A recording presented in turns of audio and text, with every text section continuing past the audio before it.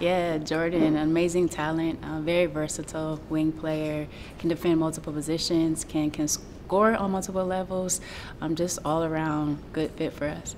Yeah, you know, we want to play an up tempo, um, fast paced offense. So to have an athlete like her to uh, run the lanes or to initiate our offenses um, very important. And she has that skill set. Uh, she can pass the ball.